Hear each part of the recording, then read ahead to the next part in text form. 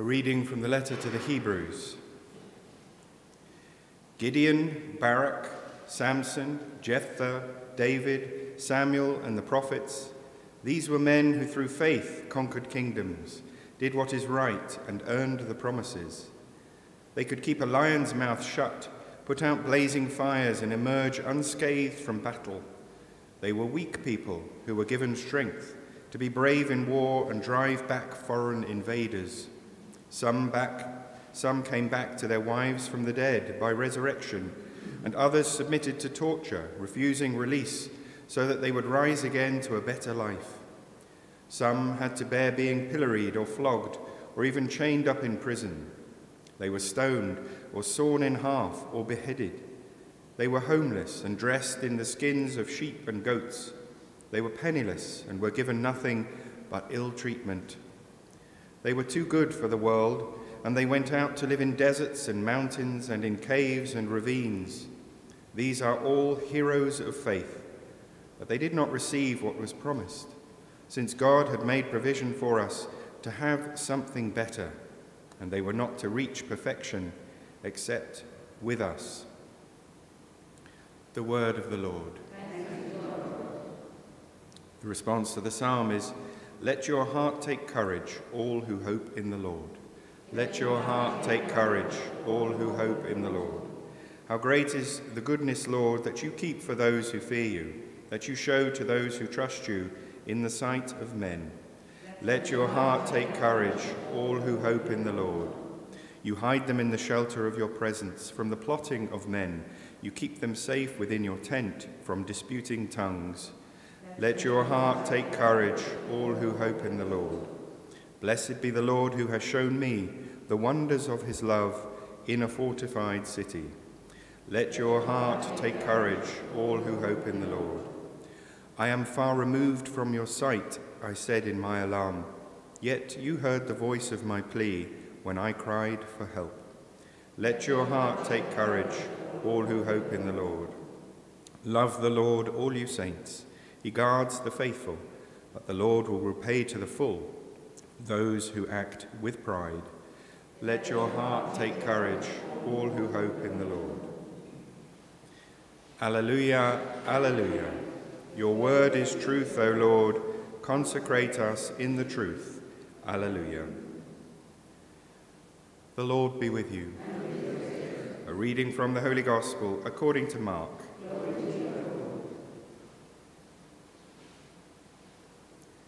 Jesus and his disciples reached the country of the Gerasenes on the other side of the lake, and no sooner had he left the boat than a man with an unclean spirit came out from the tomb towards him. The man lived in the tombs, and no one could secure him any more, even with a chain, because he had often been secured with fetters and chains, but had snapped the chains and broken the fetters, and no one had the strength to control him. All night and all day, among the tombs and in the mountains, he would howl and gash himself with stones. Catching sight of Jesus from a distance, he ran up and fell at his feet and shouted at the top of his voice, What do you want with me, Jesus, Son of the Most High God? Swear by God you will not torture me. For Jesus had been saying to him, Come out of the man, unclean spirit. What is your name? Jesus asked. My name is Legion, he answered, for there are many of us. And he begged him earnestly not to send them out of the district. Now there were there on the mountainside a great herd of pigs feeding, and the unclean spirits begged him, Send us to the pigs, let us go into them. So he gave them leave. With that, the unclean spirits came out and went into the pigs and the herd of about 2,000 pigs charged down the cliff into the lake, and there they were drowned. The swineherds ran off and told their story in the town and in the country round about, and the people came to see what had really happened. They came to Jesus and saw the demoniac sitting there, clothed and in his full senses, the very man who had had the legion in him before, and they were afraid. Those who had witnessed it reported what had happened to the demoniac and what had become of the pigs. Then they began to implore Jesus to leave the neighborhood. As he was getting into the boat, the man who had been possessed begged to be allowed to stay with him. Jesus would not let him, but said to him, Go home to your people and tell them all that the Lord in his mercy has done for you. So the man went off and proceeded to spread throughout the Decapolis all that Jesus had done for him, and everyone was amazed. The Gospel of the Lord.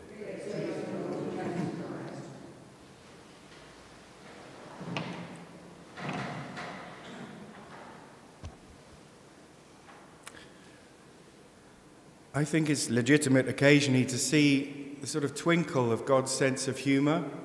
Uh, we have a sense of humour. Um, and where does that come from? Must come from God. If it's good, uh, it also means that God, in everything, God is eternal. So God has a sort of infinite, eternal sense of humour. Perhaps that's a feature of God we don't contemplate very much.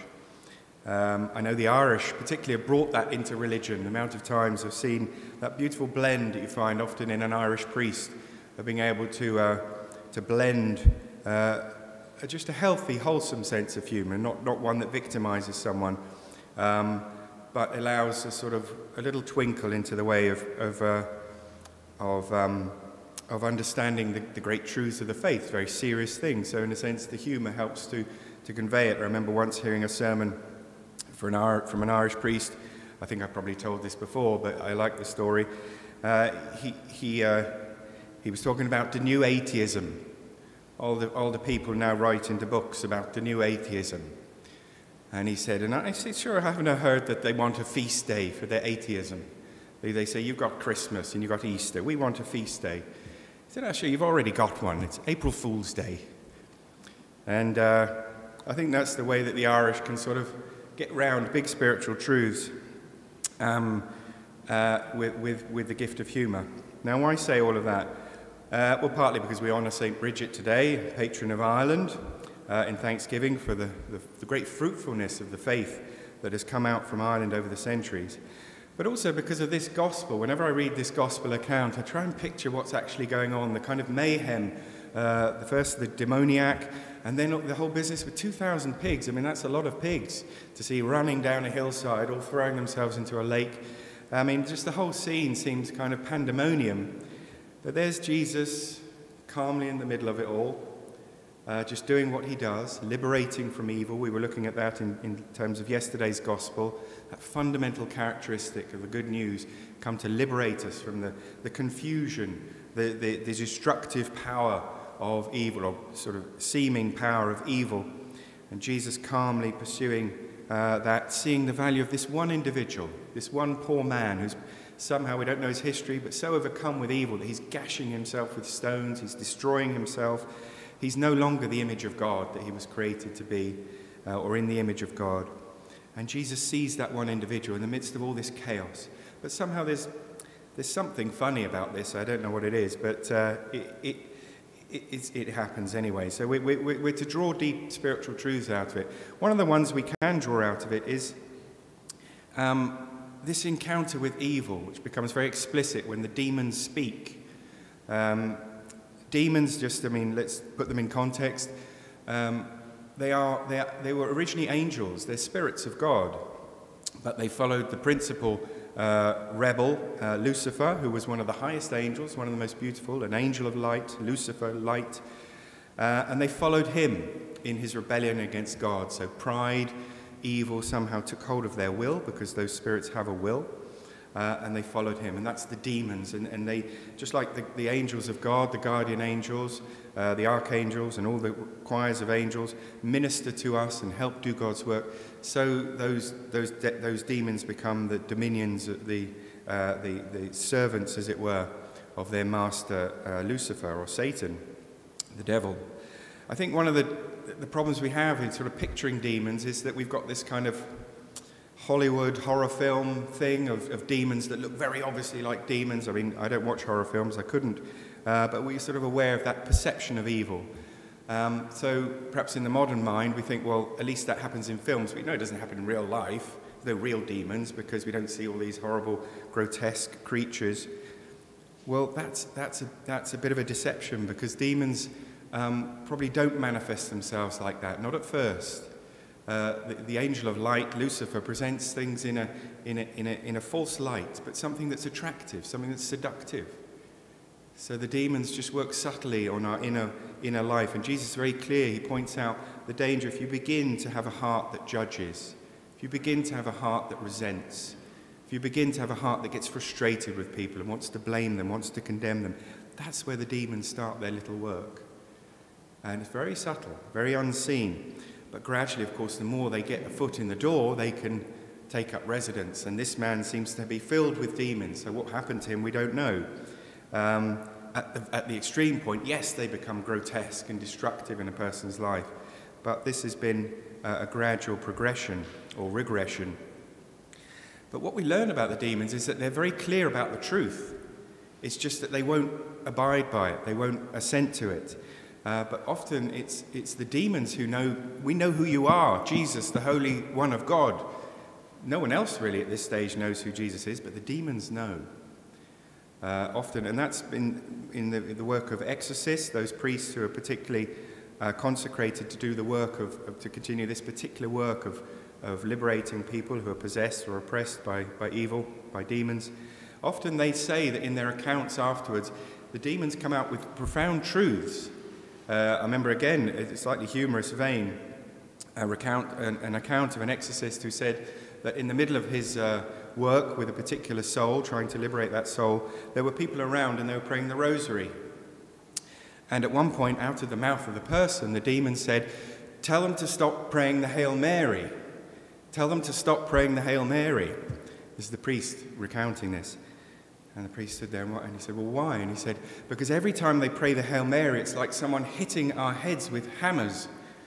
And um, what we make of that, a bit, bit beyond our pay grade, really, the realm of the spiritual battles going on above our heads between angels and demons and God and the devil.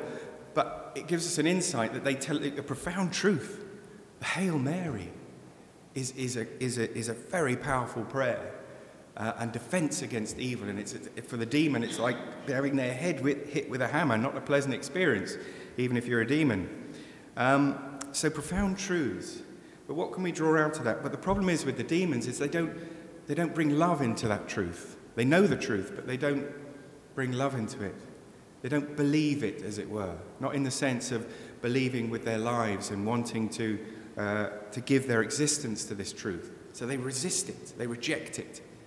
They know the truth, but they resist it. Uh, and so we can see how, therefore, uh, how important it is, by contrast, for us to believe the truths of the faith, but not just sort of have them hanging there as, as a creed, but to let the creed be in us, to live the creed, to believe it with love, to believe it with hope, to believe it with faith.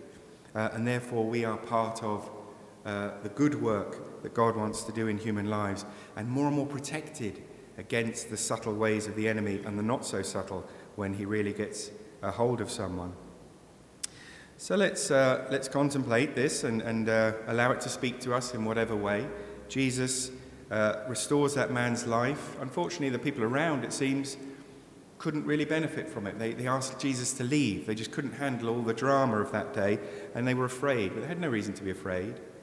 Um, but in the end, Jesus saved a soul that day, and that would have been a success. But um, possibly he was very disappointed or sad that the others couldn't rejoice with this man who they'd been terrified of. Um, and so uh, Jesus continues his work, whether he's accepted or not. Uh, but let's pray that we could accept him, and particularly in this, this aspect of our lives, to be liberated from evil, even if it seems we're not as an extreme example. Uh, evil is always trying to harden our hearts, to destroy love uh, in our lives. So let's pray, like St. Bridget, someone totally consecrated to bringing the love of God into the world and loving Him with all her heart, that we might follow suit in our own way uh, and live more and more according to the plan that God has for our lives.